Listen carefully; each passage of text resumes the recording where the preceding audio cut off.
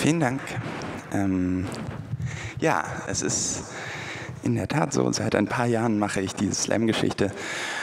Und das ist eigentlich so ein bisschen Selbsttherapie, das grundsätzlich eine sehr, sehr schlechte Idee ist, mich in einem Wettbewerb antreten zu lassen, dass sich in mir zwei Eigenschaften manifestiert haben, die in ihrer Kombination meine Competition-Fähigkeit sehr schmälern.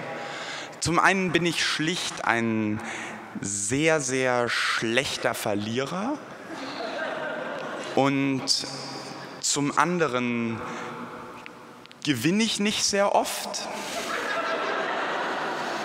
Und das zusammen mündet in krankhaftem Ehrgeiz, Missgunst, Hass, aber vor allem Aggression. Wenn ich mich da zum Beispiel auf Ostern 2002 berufe, Familienbrennpunkt Eiersuche, denn seit ich denken kann, fängt es an mit einem kurzen Drängeln, dann ein Quengeln meiner Schwestern, dass ich zu brutal und nicht der Fairste sei. Doch scheißegal, ich hab das erste Ei eingesackt, in mein Körbchen eingepackt, weil ich an Ostern keine Schwestern, sondern nur noch Feinde hab. Doch Moment, ich schweife ab. Anderes Beispiel. Weihnachten 98. Im Hause der Kennels, da freut sich der kleine Max seit ein paar Tagen, wann ist endlich Heiligabend und der Tag kam. Es gab dann Ente zu essen, ich denk währenddessen an Geschenke versessen, drauf Präsente zu messen an jenen, die meine Kumpanen bekamen. Doch war ich wahrlich als Kind schon mal gar nicht der charmante Kerl von heutzutage. Die Nachbarn nannten mich gern Teufelsplage. Ja, ich war frech und so hatte ich recht dumm jene Berechnung ohne meine Eltern gemacht.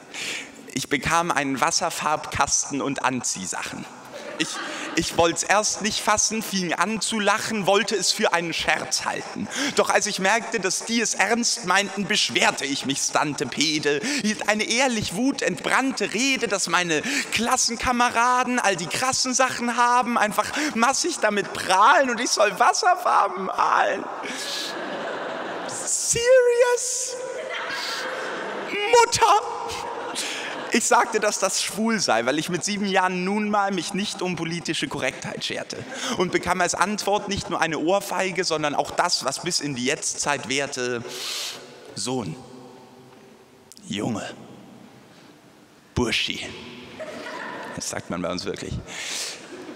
Lass doch das ewige Vergleichen.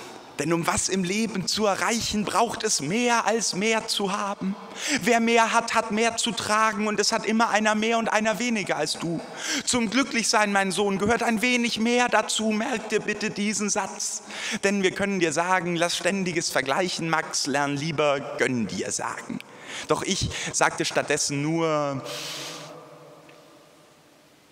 was auch immer. Und ohne jede Spur von blassem Schimmer wurde ich erwachsen.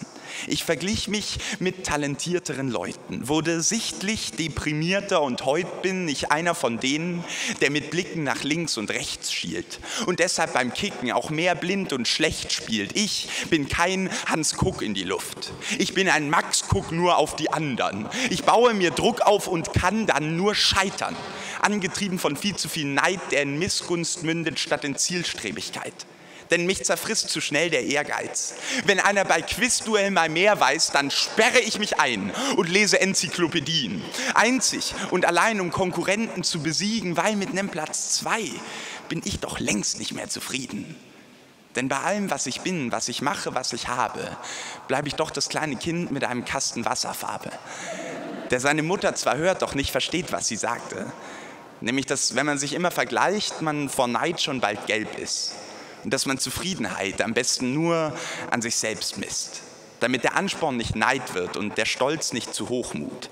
Denn jeder Vergleich birgt die Gefahr, dass man es doch tut, dass man die Schwäche nicht zugibt und die anderen schlecht macht, statt dass man den Hut zieht und einfach Respekt sagt. Denn das Gras auf der anderen Seite, das ist nun mal nur für Farbenblinde nicht grüner. Und das ist und bleibt eine Konstante. Was ich schade finde, ist vielmehr, dass bei den ganzen Grasvergleichen immer nur die Farbe zählt.